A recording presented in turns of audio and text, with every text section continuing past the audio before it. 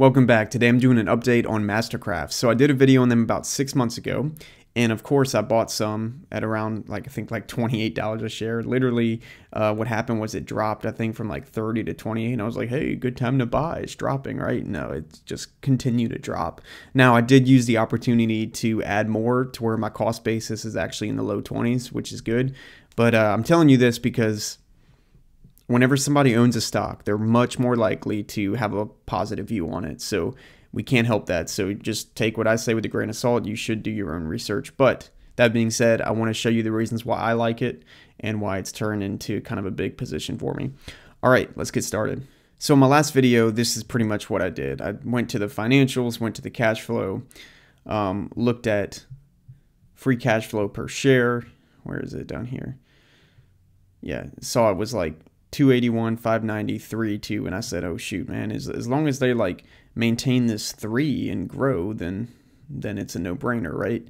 And you know that was probably not a deep enough dive, which is why I only had a small position. But what I want to do now is go through the kind of visual graphic approach that I normally use for stocks. Okay, so let's let's do that. Let's go to the income statement. Okay, so first thing is going to be total revenue, and we're going to look at the income statement briefly, and then I'm going to come back to it at the end to help value the, the company. Okay, so this is huge, right? I mean, a huge drop. Uh, the last two quarters have been not good. Uh, that being said, the fact, and you're going to see it, that they were still able to make money in these terrible revenue quarters is pretty impressive. Okay, so revenue dropped, uh, probably just cyclical, right? Interest rates went up, people are not buying boats, but the idea is that hopefully whenever it recovers that uh, you're in at a low price right okay but we'll go over that i just want to show you net income because i think this is interest not net income earnings per share diluted earnings per share okay so you know compared to that covid year where they lost um and i'm going to add some decimals here where they lost you know, they had the other drop in revenue. They had a big drop in earnings per share. But here, even with that revenue drop, you're seeing still able to earn some income, right? Keep in mind that the average of the last eight quarters has been roughly 80 cents per share. It's been right in this ballpark, okay?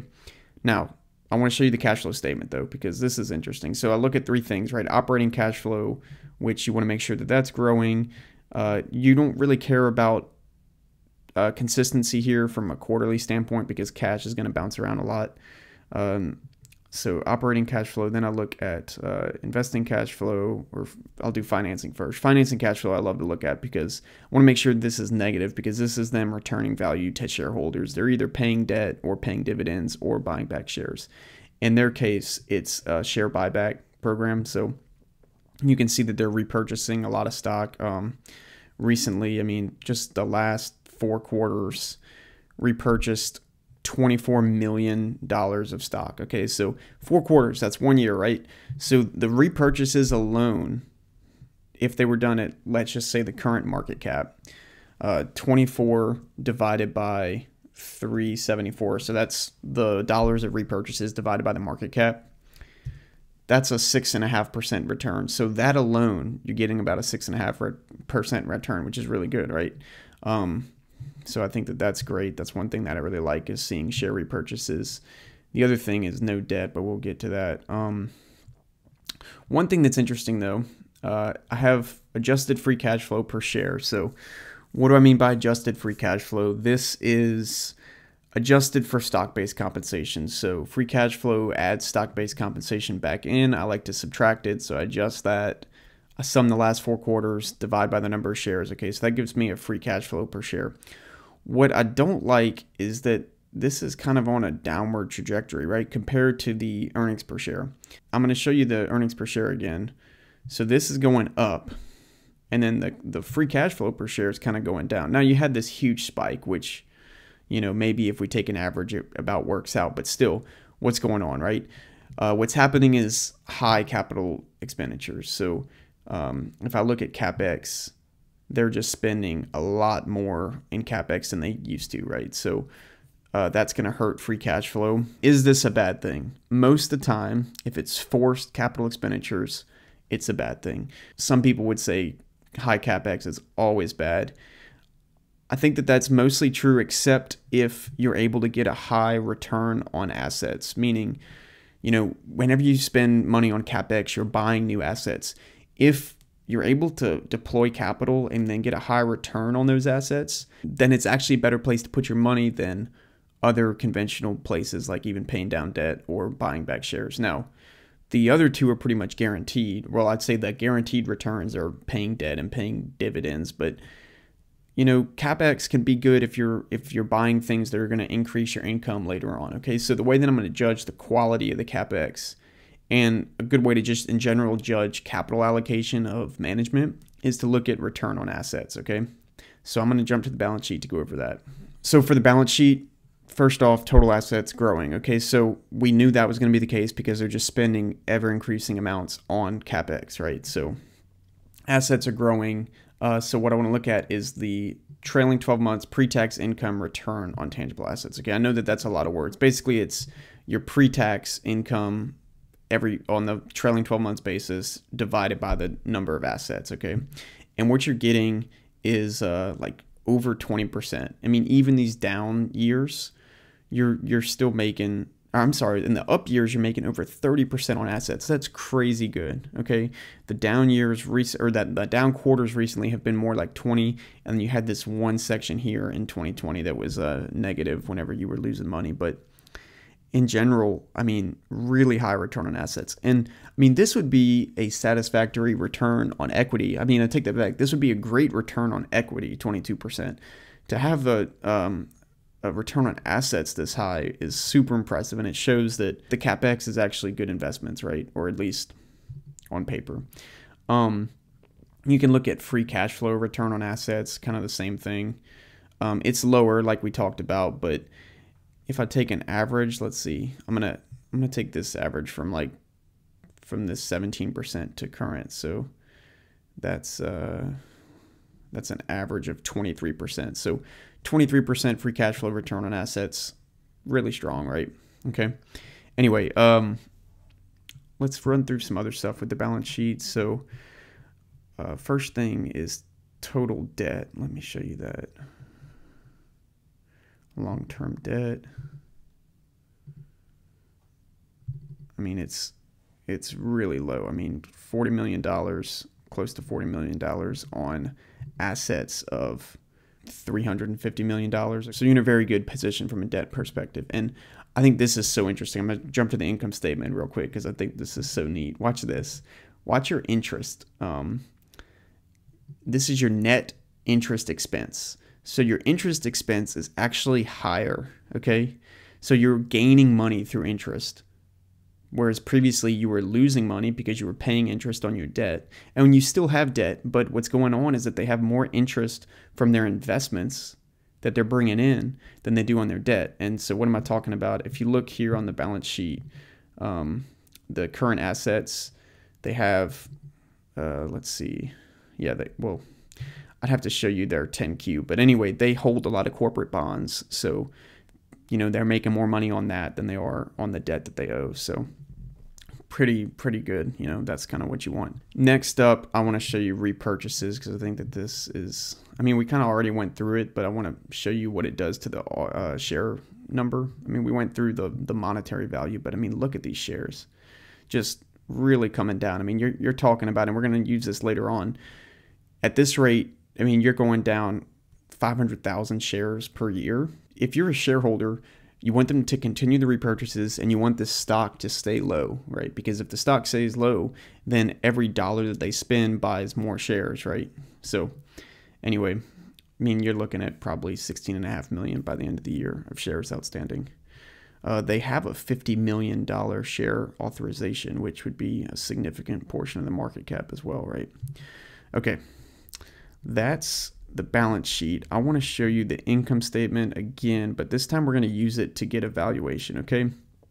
So the way I'm going to do this is we're going to say uh, use revenue and some of our expenses to try to break down what we think the earnings per share are going to be and then put a PE on that to, to say what we think the stock's going to be valued at in a few years, right? So it's going to be the predicted model, and let me pull that up. This is basically how it's going to work. I'm going to put the revenue in, I'm gonna put our gross margin in that we think is gonna be uh, the case.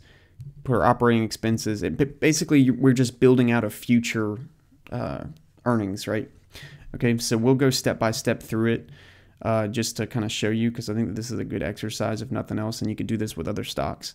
So first off, revenue. Where do we think revenue is going to be in, in a year or two? I mean, I, I think that it's obvious that this is a short term cyclical downturn and that the trajectory has been up, right? So, look, I'm going to be conservative and say that they'll easily get back to 150 per quarter in revenue. Okay, so 150 per quarter is going to be uh, 600, right? I just did that in the calculator. So back in our model, we're going to put 600 million per year in revenue. Okay. Gross margin. All right. So I'm to go back to this and look at what has the gross margin been historically. All right. So historically, it's been pretty high. Now it has been shrinking and it's been down these recent quarters. So what do we think is going to be going on, you know, two or three years from now? I'm going to be a little more conservative here. I'm not going to predict that we go back to the 25%. I'm going to say maybe we split the difference. Maybe 23%, let's say. Okay. So I'm going to put 23% there. 23%. Okay. And that gives us a variable profit or, you know, uh, gross margin of $138 million per year. All right. Operating expenses. Let me go over those. So what has the, what have those been historically? Okay, operating expenses. This is something that I just think is really neat. So to have your revenue growing like it's been growing, but you're really keeping your operating uh, expenses low is just a great sign. Unfortunately, what you see with a lot of companies is that as revenue goes, their operating income just or operating expenses just grows with it to where uh, you know these are supposed to be fixed costs. The only thing supposed to grow with your uh, revenue is going to be your variable costs. So the fact that their fixed costs are roughly fixed is, in my opinion, a really good thing. So recently, it's been about look less than $12 million per quarter, but historically 12 to 14. Okay, so I'm going to go at the high end of that. I'm going to say $14 million per quarter. So go back to the model, and this is going to equal uh, negative 14 times 4 because it's per quarter and negative because it's an expense. So that gives me $82 million of operating income. Okay, interest and other, we'll go through that real quick. So interest expense, we already talked about that. It's actually not an expense. You're actually getting money from interest, about half a million dollars a quarter. So $2 million a year, right? Half a million per quarter times four is $2 million. And then we really don't have any other income or expense. This is roughly zero, right? So we're just going to put a plus two here because it's plus two per year. Tax rate, similar thing to the gross margin. Usually this is going to be 21% for the uh, for for most U.S. companies, but you might see a little bit of fluctuation. Um, it's roughly 21, 22%. Okay, so we'll do 22%. 22%, not 30. Okay, that gives me net income of $66 million. Okay, we talked about the number of shares. Right now they have about 17 million shares outstanding, but I think that they're going to get to 16 and a half. So 16.5. Okay, that gives the earnings per share of 397. Okay, so it's just crazy. I mean, what PE do we want to put there? Let's say optimistically a PE of 12. That's stock price $48 a share. That's kind of my high end scenario in my last video too. I think I think this is probably the high end, you know, pretty double digit PE uh, revenue. But remember the revenue that I wasn't even assuming it went up that much. I said it was going to be 150 per quarter. Um, and if you look at it, it would have to, I mean, if it continues on the growth, it could be higher than that, right? So I feel pretty comfortable with, with this one, but I want to also look at it from a lower uh, perspective, right? So instead of 600 million, let's say 500 million in revenue, okay? and let's reduce that gross margin. So let's say it's 21% instead of 23. Operating expenses, we're going to keep it that minus 14, keep everything else the same, um, and lower the PE. So if I lower the PE to 10 in this scenario, $24 a share. Um, if I lower it to 8, now we're now we're kind of where we are. Okay, so in my opinion, I think that this is probably too conservative. But even if, or you know, this is a this would be bad for the company, right? If they if they perform this way, it probably wouldn't be good. But even this scenario is still very good downside protection, and that's what I really like about the stock is that I feel like you have this really high floor because you have no debt, you're buying back shares, and you have pretty good discipline with the operating expenses, right? So to me, this is just an asymmetric play where uh, that you know if, if the revenue continues growing like it is and they and they stay disciplined with their operating expenses, you could get an even higher uh, stock price, right? So anyway, that's that's just my two cents on it. Like I said, I encourage everybody to do their own research.